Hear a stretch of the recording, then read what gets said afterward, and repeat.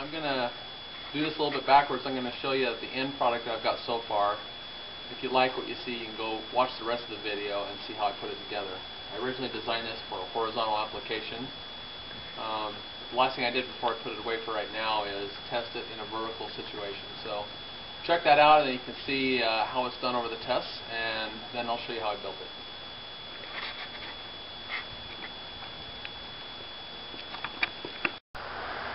Okay, it's a little later in the day. Um, I brought this out front. I was going to put it away for now until I get my other one built, but I thought, let's try a vertical test. Um, because I do have those channels running for the way that I thought would work best. But here's my vertical test.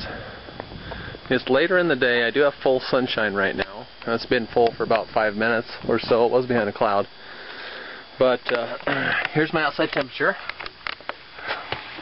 And it says 30.43 degrees.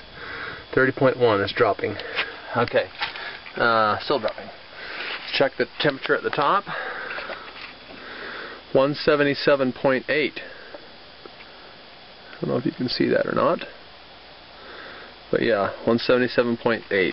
So, and it's I can feel the heat coming out of there, so apparently it works vertical as well. I didn't think it would. Uh, but I can definitely feel the heat. Sorry about that, coming out of that. Um, now, as I mentioned, in a vertical position with a fan, it's for sure going to get it. But I'm guessing that um, the heat, the air coming in the, on the first channel is definitely rising, and the air on the third channel is definitely rising. So I'm guessing that's just sucking the rest of the air through. So anyway, I thought you'd be interested in that. Okay, here is my test solar air heater. I just packed it down here. Um, it's made with 2x4 frame, piece of half inch plywood on the back. By the time you put that window on it though, man it's heavy. So anyway, the next one I'm doing is out of 2x6s with aluminum cans inside. So those 2x6s are going to make it even more heavy. So, um, now this being my test subject, I did silicone my pipes in, but uh, I haven't spray painted those black yet. So um, I didn't get too anxious about that. And I also haven't painted my my casing for this thing because when I do, do install it, I don't know if I'm going to paint it or if I'm going to wrap it with aluminum. That would make more sense. So I have to worry about painting it every year. Um, I did a solar dryer for food dryer last year. Uh, it worked awesome through one season, but at the end of the season, the black paint that I sprayed it with was pretty much decimated. So um, I'm thinking that this year I'm going to make my dryer out of um, Trex decking material. That way I don't ever have to worry about fiddling with painting and I also don't have to worry about um, wrapping aluminum. I think it'll be more durable. So anyway, let's check the uh, let's check the temperature. I just barely set this down like two minutes ago. So oh,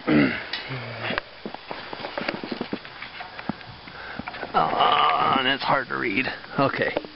I don't know if you can see that, but it says 36.9. Hopefully you can see that. That's my air going in. I just drilled a little hole and put a piece of tape around it and stuck my thermometer, my $8 thermometer I got at Target in there. And I did the same on the other end. So I did a horizontal on this one. Um, you could also put this in a vertical position. But for vertical, you're definitely going to need uh, a little fan on it, and I plan on doing fans anyway. But for just convection, uh, it needs to lay horizontal. And let's see if we can see the temperature on that other one. Uh, I can't see it. So I'll have to go around the other side of the fence and check it.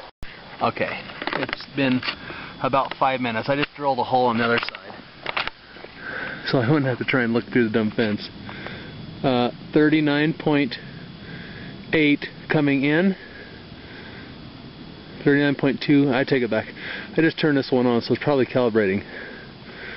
Uh, 38.0, it looks like. 37.9 going in. And if you come over to the other side, we're inside of five minutes. 122 and rising. That's awesome. So we'll check it again in uh, like 15 minutes and then half hour and see what happens.